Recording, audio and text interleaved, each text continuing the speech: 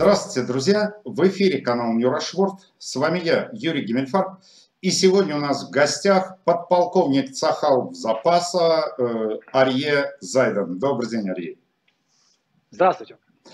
Арье, э, меня интересует твоя точка зрения как профессионального военного вокруг э, это ежечасно, наверное, возрастающей напряженности вокруг Сувалковского коридора э, в Калининград. Вот я читал очень много разного рода прогнозов, но все считают, что ну, ну, это сумасшествие, переть на страну НАТО, там рядом и Польша, там рядом, в общем-то, из э, Соединенного Королевства эсминцу дойти очень быстро по Балтийскому морю. Не в этом дело, но возникает вопрос э, о возможности применения ДРГ, диверсионно-разведывательных групп э, в Литве. А вот тут ситуация интересная. Вот по сравнению с Израилем. Цифры. Площадь Израиля 20 тысяч квадратных километров. Площадь Литвы в три раза больше. 65 тысяч квадратных километров. Население Израиля 9,5 миллионов человек, а население Литвы 2,8 миллиона. При этом Израиль – это открытое пространство пустыня, а Литва – это э, леса.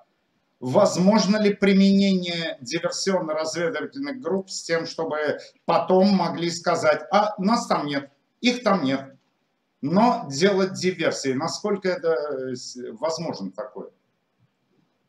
А, ну, наверное, вначале нужно спросить, а какова цель? Если цель создать сухопутный коридор, mm-hmm. вот, если мы правильно понимаем, то его тут диверсионно-разведывательные группы вряд ли чем-то помогут. И, э, то есть обезопасить мосты или что там. Не знаю, по-моему, это не, не совсем точное направление и Э, попытки понять, будет или не будет. Есть э, леса, есть несколько сотен километров, которые нужно полностью обезопасить, э, и по ним что вести? Военную технику? Я не совсем понимаю, откуда у российской армии на сегодняшний момент найдется такое количество ресурсов. Это примерно наверное, половину ресурсов, которые сейчас задействованы в Украине, можно положить только для того, чтобы обезопасить один коридор и он один, а где покрытие с воздуха, чем что, что они собираются делать. Вот. Нет, абсолютно какая-то безумная идея, и, на мой взгляд, абсолютно невыполнимая. А, поэтому это еще до эсминцев и всего остального. Просто слишком большое расстояние и слишком мало ресурсов. Вот и все а, все-таки теперь небольшое отступление, вернемся к эсминцам. Как э, аналитики Минобороны Израиля рассматривают версию о блокировке порта Клайпеда? Такое возможно силами Балтфлота? О, вот это, извини, я вряд ли чем-то могу помочь. Я не специалист вообще в морской блокаде. Вот. Я умею на кораблях плавать, с них десантироваться. вот в другом. Во всем остальном это не я. Нужно спросить человека, который занимался этими вопросами из, из, из ВМФ. Вот. Он ответит действительно профессионально. Так что не знаю, честно, извини. Хорошо, э, вернемся все-таки к сухопутной операции. А диверсионно-разведывательные группы, они же чисто теоретически могут создать хаос, ну, в том же Вильнюсе, э, на территории Литовской Республики с тем, чтобы правительство само открыло Сувалковский коридор э, для транзитов грузов э, в Калининград.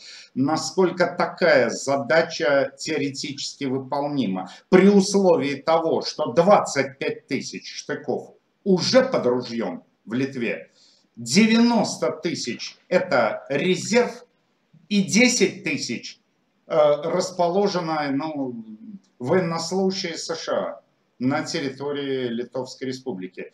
Такая задача при таком раскладе усилиями ДРГ выполнима или нет? Опять же, на мой взгляд, абсолютно. Это какой-то ну, сказочный вариант. Вот, других-то слов и нет. И знаешь, если бы вопрос был, если бы не было Украины, не было попытки Киева и действия там, то все возможно, можно было бы сказать, да, мы вообще абсолютно не знаем, то есть не знаем, где ноль, где сто, по какой, по какой шкале это все определять, как анализировать, непонятно. Ну и вот был киевский опыт, не получилось. если у литовцев есть, она, есть информация, развединформация по и, и такого рода деятельности со стороны Российской Федерации, то, конечно же, они готовы. Больше, больше э, эффекта э, неожиданности его нет. Все действия эти, все эти, все, все эти сценарии, они уже превратились, на мой взгляд, давным-давно в планы. Тем более, что литовцы вот знают, как действовать, и они, за ними, скажем так, они ничем не хуже украинцев вот, в своем желании отстаивать собственные национальные интересы. И, да и тем более, ну, опять же, 30 лет прошло, там молодые люди, новое поколение, они говорят на другом языке, там сложнее. Если в Киеве еще ты можешь на русском как-то говорить, и, возможно, тебя не заметят, а в Литве как ты будешь на русском говорить? То есть люди, которые говорят на русском, но в основном-то используется местный язык. А где они найдут такое количество разве, э, разведчиков и диверсантов, которые будут это делать?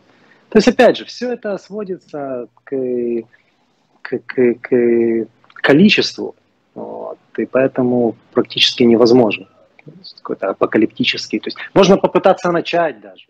Ну, смысл и результат. Ну, будет так же, как в Киеве. Нагадут их, ну, постреляют. Да и все. Ну хорошо, но тогда э, я предлагаю в заключении отвлечься от формальной логики и обратиться к аналогичному опыту Израиля. Казалось бы, чего добивается Хамас? Они прекрасно понимают, что Израиль их накроет высокоточным оружием.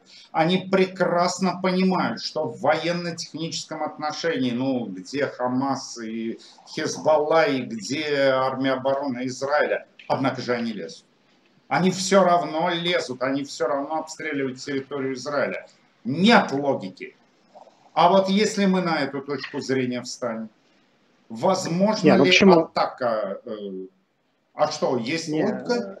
Есть, конечно, ну, конечно, есть. Опа! Конечно, И какая же? Ну, это асимметричная война. Точно так же, как и партизаны воюют, и low-tech воюет с хай-теком. И точно так же хамасовцы воюют. Да? Они, цель их ясна.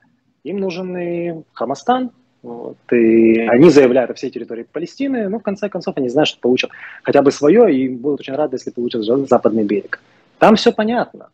Там ничего нового, ничего нового нет. А почему они ведут войну? Ну, ведут, а как им не вести войну, если есть идеология, есть э, куда они денутся? Вот. Они же могут сейчас отступить и сказать, все, мы закончили. Ну, вот хорошо, конечно. Вот, отступят, договоримся, мирный договор подпишем, все будет классно. Вот это тоже, это, сказать, более ближе к, к, какой-то неизбыточной мечте. Нужно еще несколько раз встретиться на поле боя, наконец-то, для того, чтобы обе стороны устали, особенно та сторона, и пришла к выводу, что все-таки да, делать больше нечего. Придется признать так, как есть. Вот, к сожалению, опять же, к сожалению. А, поэтому я не думаю, что корректно сравнивать действия огромного государства, 130-миллионного, э, с конвенциональной армией и действия террористической организации, которая хочет, хочет перейти в, встать перед, перед, перейти, то эволюционировать, скажем так, в, в обыкновенное государство. Вот и, вот, вот и все. Так что я не вижу э, точки сравнения здесь э, между ними. Э, россияне действуют по, по другой логике. У них э, определенные вид общества. Ну, как мне кажется, опять же. Вот, и, и, у, у них определенный, определенный строй общества, определенная общественность, определенные люди с определенными э, привычками, вот, э, привычками идти за при, слушать прямые приказы. Ну, видели мы это и во Вторую мировую, и в другие времена. То есть не новость, как бы ни для кого. Им сказали, они идут. Ну, видно же, мы же видим все, все, и ты видишь, и люди, и зрители все твои видят, и ролики, как их призывают. И только сейчас, где-то там, мы видим, что начинаются какие-то небольшие народные брожения. Опять же. Когда вы выкосили, когда они выкашивали 70 лет Советского Союза, всю элиту, которая может хоть как-то противостоять, а потом еще и с небольшой передышкой потом и путинский режим все это задавливал, что, что может быть? Их посылают, они идут. Ну, вот и все, как бы. Поэтому, опять же. А, кстати, вот здесь вот можно сравнить, кстати, вот это, опять же, э, на мой взгляд, можно сравнить здесь э, отношение э, общества в сектора газа палестинского и вот к своей власти, да, и выполнение задач, которые они дают, и, и курса, которые они принимают э, Хамас, и точно так же вот российскую глубинку, которая идет воевать потом на, на украинской территории. Одно в этом смысле, в этом смысле одно и то же, но только в этом смысле. Очень важно не путать, кто начинал здесь войну. Там начинала Россия, у нас все немножко по-другому. У нас было обоюдное начало, а потом уже после 67 года вещи немножко поменялись. Э, ну а разве не э, сравнимы террористические тактики? Э, то, что использует Хамас, прячется за спинами женщин, детей, устанавливая кассамы на больницах, на, на крышах, я имею в виду больниц, жилых домов и так далее. И то, что открыто декларирует Путин, прикрывается мирным населением, бомбит мирное население. Я э, прекрасно помню май прошлого года, когда здесь, в Батьяме, э, я наблюдал, что просто вот на кого Бог пошлет, швыряли они свои ракеты. Э, и точно так же действует э, Кремль. Вот не кажется ли тебе, что как раз здесь уместно э, говорить, здесь, что здесь, террористическая в этом, в этом тактика? В этом разрезе, да, согласен с тобой. В этом разрезе, конечно, всегда, когда, вы, всегда, когда любое государство или организация ну, действует э, против э, ж, гражданского населения с целью э, заставить власть этого гражданского населения принять какие-то решения, это террористический акт. Поэтому сегодняшний удар по Киеву, утренние продолжающиеся удары, да, террористический акт. Вряд ли можно сказать, что случайно попали. Ну нет, не случайно. О, ну, во, во, во, во, во, во. Вот нет, никак, языка ну, никак, никак не получится. Ну, никак не получится. Особенно, особенно, если когда-нибудь там, если, допустим, на территории сектора газа э, джад ислами запускает ракету, и КамАЗ говорит, ребята, ребята, тормозите, это не мы, это джад ислами, мы говорим, ну, нам все равно, ты ответственный, вы будешь отвечать, ну, то белорусы вряд ли могут это сказать точнее, белорусское правительство, если с их территории запущены ракеты, вот, они могут сказать, а, подождите, не мы, тут какие-то российские войска, как бы, мы суверенно в своей, в своей стране. Вот. Поэтому нужно задать вообще другой вопрос. Почему украинцы не ведут и наступательных действий на территории Российской Федерации? Okay. До Курчатовской атомной станции всего 117 километров. Очень близко. Mm-hmm. Вот. Понятно. Э, и, э, зайти, я думаю... и, зайти, и зайти в тыл противнику никто не, никто не отменял. Вот. Э, а я думаю, ВСУ воспользуются твоим советом, но в заключении вопрос. Ты вот как специалист, как военный аналитик, как человек с боевым опытом, хоть один шанс отводишь на то, что сегодняшняя атака на Киев, но это случайность. Промазали, метили в одно, попали в другое. Ну, хотели как лучше, вот э, что это вот была именно не террористическая атака. Хоть один шанс есть такой? О, хотелось бы, конечно, верить. И по опыту у нас и минометчики ошибались на учениях и стреляли с, в сторону Израиля. И такое бывало очень редко, а, всего несколько раз. Но вряд ли.